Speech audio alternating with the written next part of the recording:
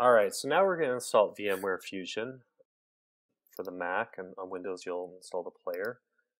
But uh, I'm just going to go with the Mac for these tutorials because that's what I have. So, just go ahead and run the installer for that.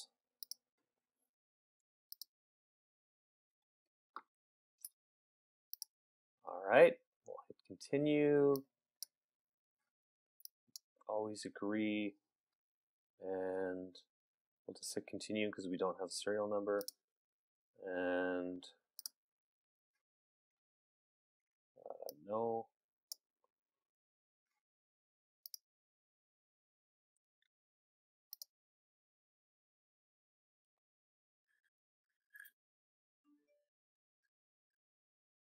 Okay, so it has installed, so we'll just close the installer and now we'll go to our applications directory, scroll down to the V's.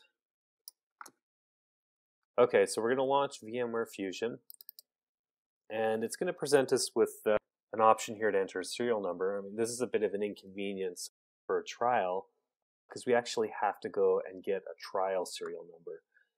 So if you click on get serial number, it'll take you to their website and you can click here to get a free trial and you're going to have to register and all that fun stuff.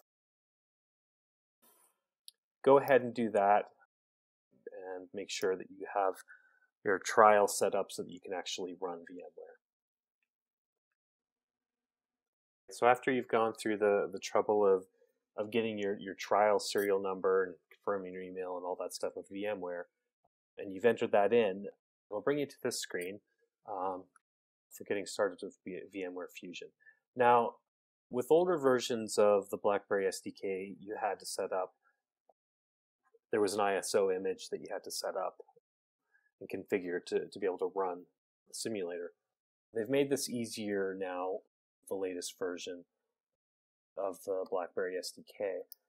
So if you go to your, your applications go to Adobe Flash Builder 4.5, go to the SDKs folder, open up the BlackBerry Tablet SDK folder.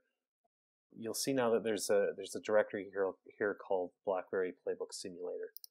And if we just open that up, there's a whole bunch of files here, but the one we want is down here. It has the the, the icon and the VMX uh, file extension.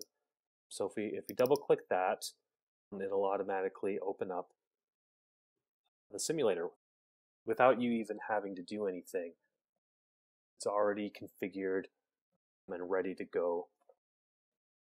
Nothing you have to do but open up that file once you have VMware installed. Um, so we'll give it a minute here to launch to launch the simulator and we can see what that looks like.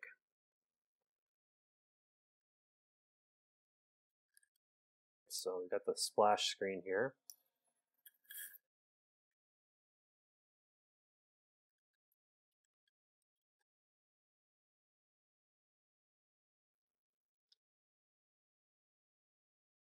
Uh, the password to log in is playbook, all lowercase. Just type that in on your keyboard, or you can use the virtual keyboard here.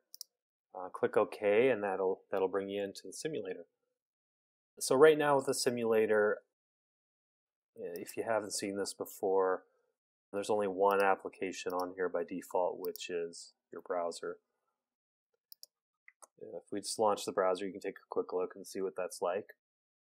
The very first time I ran the BlackBerry Playbook Simulator uh, several months ago, I, it wasn't clear to me how to actually get out of applications. You swipe from the, the bezel, this black area surrounding everything here is touch enabled on the device and also in the simulator.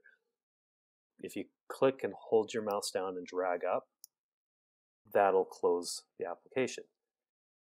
If you go back into it, if you have multiple applications running, you can swipe from the sides, to go from application to application, but since this is the only application that it doesn't do that right now. But anyway, we, we can just swipe from the bottom, close that. And now same thing for our settings, we can swipe from the top and set things, or we can just click on this icon here. Now everything's already configured for debugging with this version of the simulator. If you click on this little icon here, this is the debug icon. It's, it, it just tells you it's on and it gives you an IP address, which you're going to need in order to, to debug and test your application with the simulator. The only other thing that we that's important to set would be your time.